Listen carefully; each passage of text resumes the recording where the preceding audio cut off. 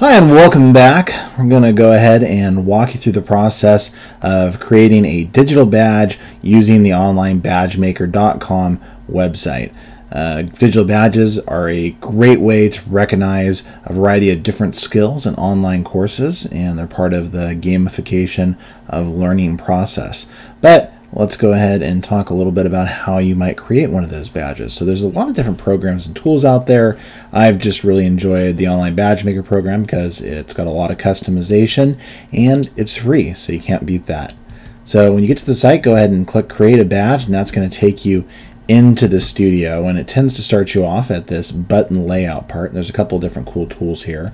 One you can kind of customize and change the type of 3D button that uh, that you have. I kind of like this one. It looks a little concave in 3D, so that looks cool. And you can also add or change the shadow. So maybe we'll uh, we'll go with this one. It just has kind of like a nice little drop shadow circling the uh, circling our badge there that point, we'll move into the background. We can go ahead and change the color of our background.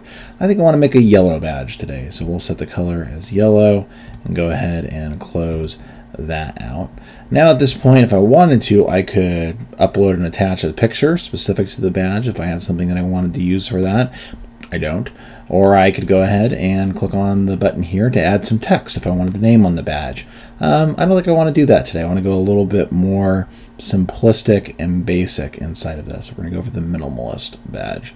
So I'm going to click on add shape and you can see that there are a variety of different shapes and icons that you can use to add to your badge based on what your interests are. So what I was thinking today is to create a badge that recognized a good idea. So when a student has a really good idea in the class or they come up with something, this is a badge that I could manually assign them to recognize that good creative thinking. So I'm thinking the light bulb would probably be a good uh, good icon.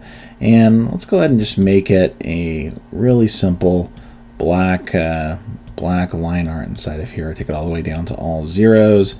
Close that, and we've got this nice, simple black light bulb. Now I'm just going to go ahead and center it on my badge so that it looks pretty much even. Looks pretty close. And we're going to go ahead and go with that. And I'm just going to leave everything else here to the normal.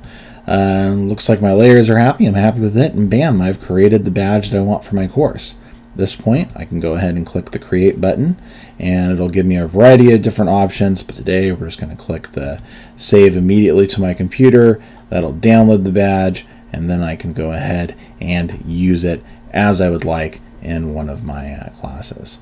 And you can see that it's uh, bringing it up in my image program. Well, that's all there really is to it. So good luck and get started making some badges.